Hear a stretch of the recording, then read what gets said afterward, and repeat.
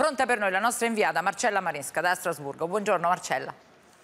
Buongiorno a te Marzia, buongiorno a tutti voi. In questo momento proprio in aula si sta parlando proprio di eh, Ucraina e di eh, Gaza, si, stanno, eh, ehm, si sta preparando il prossimo summit europeo del 21 marzo, il dibattito è alla presenza della Presidente della Commissione von der Leyen. Eh, per i prossimi cinque minuti però, come anticipavi tu da studio, noi invitiamo tutti i nostri telespettatori a pensare, a concentrarsi al contenuto eh, del proprio frigo e del proprio armadio perché, eh, e a pensare a quante degli oggetti che sono contenuti all'interno finiranno nella spazzatura perché è proprio di questo che oggi vogliamo parlare, cioè di sprechi nel eh, settore tessile e in quello in ambito invece alimentare. Lo faremo con le nostre due ospiti, eccole qui ve le presento, sono Francesca Peppucci di Forza Italia, buongiorno, Salve, buongiorno a tutti. E Mariangela Danzi del Movimento 5 Stelle. Buongiorno a tutte e a tutti.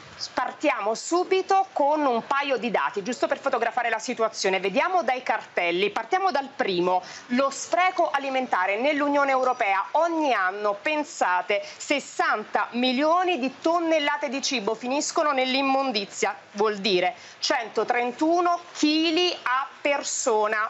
Andiamo invece ehm, sull'ambito del tessile, il secondo cartello, soltanto in scarpe e abbigliamento eh, in Unione Europea eh, si buttano 5,2 milioni di tonnellate, il che significa 12 kg a persona. Cara Marzia, sono veramente dei dati che fanno saltare dalla sedia cara Marcella e che però magari vogliamo leggere insieme e commentarli anche con gli ospiti ovviamente. Mariangela Danzi. Sì, nei nostri armadi succede che mettiamo tanta, tanto materiale, a volte fibre naturali che però significano deforestare o coltivare sfruttare i nostri terreni per materie prime che poi saranno appunto eh, non utilizzate oppure abbiamo i nostri armadi pieni di materiale eh, dannoso per la salute, di sostanze dannose per la salute che finiranno poi nell'ambiente.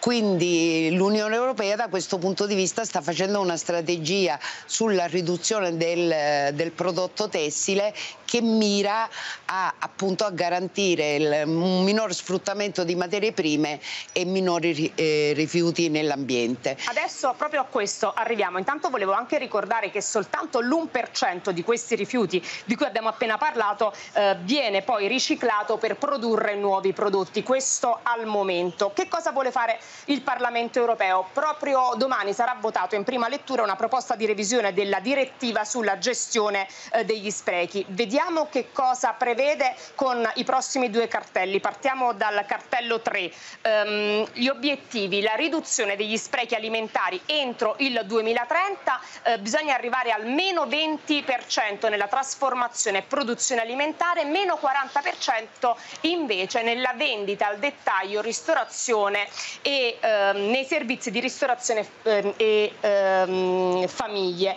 Questo per quanto riguarda lo spreco alimentare. Andiamo invece a vedere quali sono le nuove norme per i rifiuti tessili, eh, questa è la più importante. I produttori dovranno coprire i costi di raccolta, cernita e riciclaggio dei rifiuti tessili e tutti i Paesi membri dovranno garantire la raccolta differenziata ehm, di quei prodotti tessili che devono essere poi destinati al riutilizzo. E tutto questo entro il primo gennaio 2025. Allora, alle nostre ospiti chiedo, partendo adesso da Mariangela Danzi, eh, sono norme ehm, con cui siete d'accordo, sono ambiziosi, al contrario troppo poco ambiziosi e soprattutto ehm, qual è mh, la responsabilità estesa delle imprese come vi suona?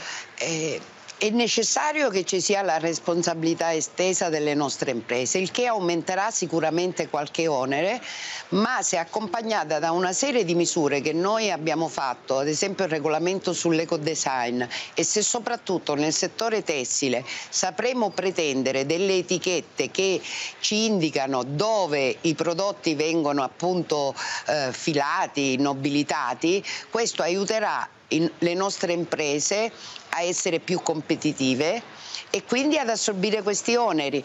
Quindi io sono assolutamente favorevole perché appunto, come dicevo prima, eh, utilizzare materie prime o buttare eh, dentro i rifiuti eh, non va bene. Non va bene perché danneggia l'ambiente, molti di questi tessuti sono sintetici e hanno dentro microplastiche. In chiusura una battuta velocissima, proprio 10 secondi di commento alle elezioni in Abruzzo. E Angela Danzin. Dopo la Sardegna, l'Abruzzo è il, è il, secondo esperimento di campo largo eh, progressista che si forma su persone competenti e autorevoli.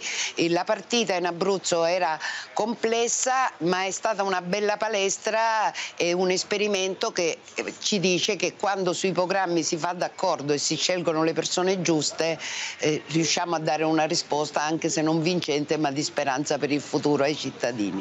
Grazie mille.